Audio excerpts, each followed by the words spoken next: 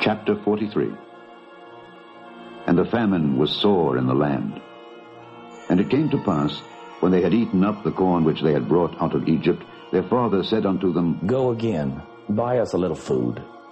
And Judah spake unto him, saying, The man did solemnly protest unto us, saying, Ye shall not see my face, except your brother be with you.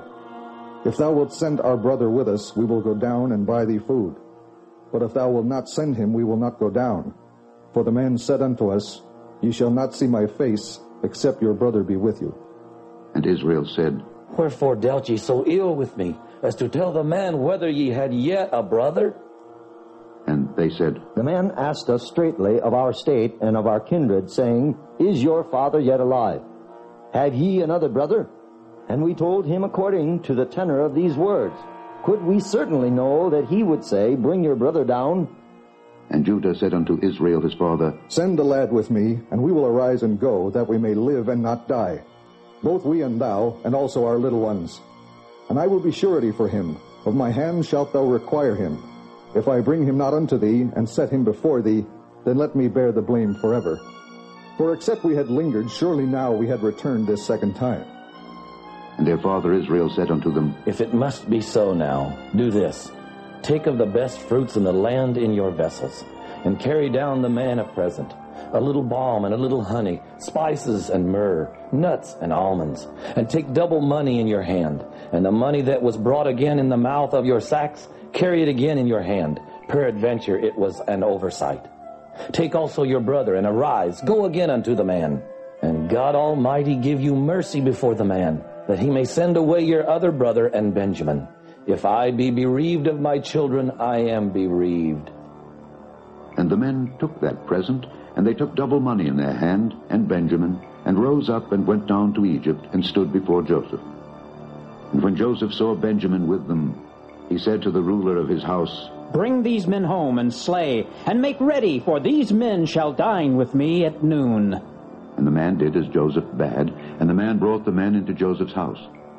And the men were afraid, because they were brought into Joseph's house, and they said, Because of the money that was returned in our sacks at the first time are we brought in, that he may seek occasion against us and fall upon us, and take us for bondmen and our asses. And they came near to the steward of Joseph's house, and they communed with him at the door of the house, and said, O sir, we came indeed down at the first time to buy food. And it came to pass when we came to the inn that we opened our sacks, and behold, every man's money was in the mouth of his sack, our money in full weight, and we have brought it again in our hand. And other money have we brought down in our hands to buy food. We cannot tell who put our money in our sacks. And he said, Peace be to you. Fear not. Your God and the God of your father hath given you treasure in your sacks. I had your money. And he brought Simeon out unto them. And the man brought the men into Joseph's house, and gave them water, and they washed their feet, and he gave their asses provender. And they made ready the present against Joseph came at noon, for they heard that they should eat bread there. And when Joseph came home, they brought him the present which was in their hand into the house, and bowed themselves to him to the earth. And he asked them of their welfare, and said, Is your father well? The old man of whom ye spake, is he yet alive? And they answered, Thy servant, our father, is in good health. He is yet alive. And they bowed down their heads and made obeisance. And he lifted up his eyes and saw his brother Benjamin, his mother's son, and said, Is this your younger brother, of whom ye spake unto me? And he said, God be gracious unto thee, my son.